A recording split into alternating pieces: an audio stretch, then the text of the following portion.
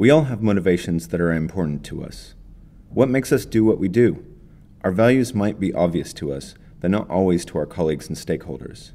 Bringing your team together to agree a common set of values can help to simplify and speed up decisions. Though it might seem like a simple task, clarifying your values can be very useful when explaining your work to others. Shared values will also help to align the work that you do with colleagues and partners. The value mapping worksheet can help you to describe the values that shape your personal work and the wider organization. If you're doing this in a team, it's a good idea to have the team members fill in their personal value maps first and then match these with each other to make sure everyone is on the same page.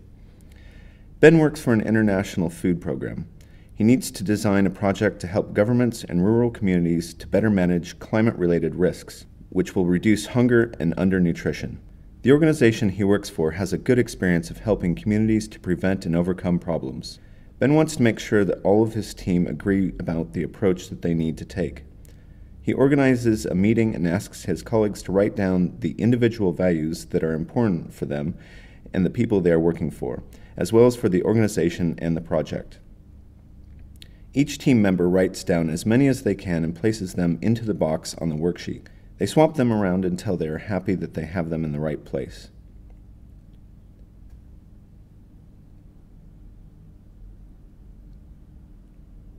Ben knows that in order to focus the team on a clear plan and a set of activities, they should work with a maximum of five values in the always important column.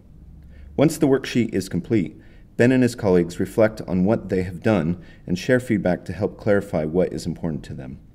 Together, they agree a set of values that are core to the organization.